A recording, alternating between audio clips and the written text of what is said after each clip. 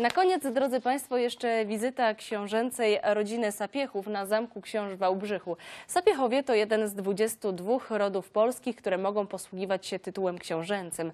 Historia ich rodu sięga XIV wieku. Czy spodobała im się perła Dolnego Śląska? Proszę zobaczyć.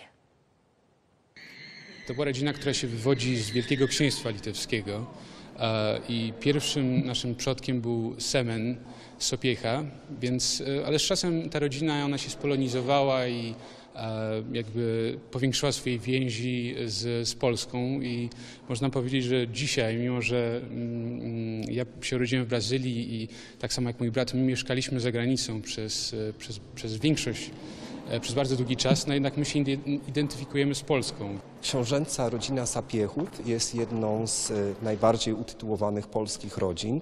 E, Legitymują się herbem lis. Rodzina dzieli się na dwie gałęzie Sapiechów różańskich i Sapiechów kodeńskich.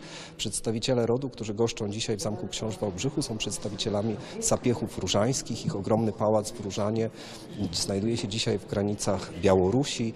E, Rodzina mieszka w Warszawie, ale też jest rozproszona po całym świecie. Pierwszy raz był e, dwa lata temu i ja zakochałam ten budynek i historię i wszystkie. Ja czytałam od książ Daisy i wszystko.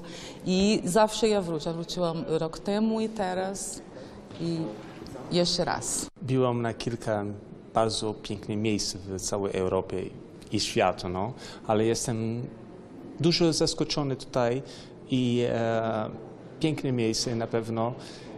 Nasza historia jest wielka, jestem dumny, że jestem Polakiem.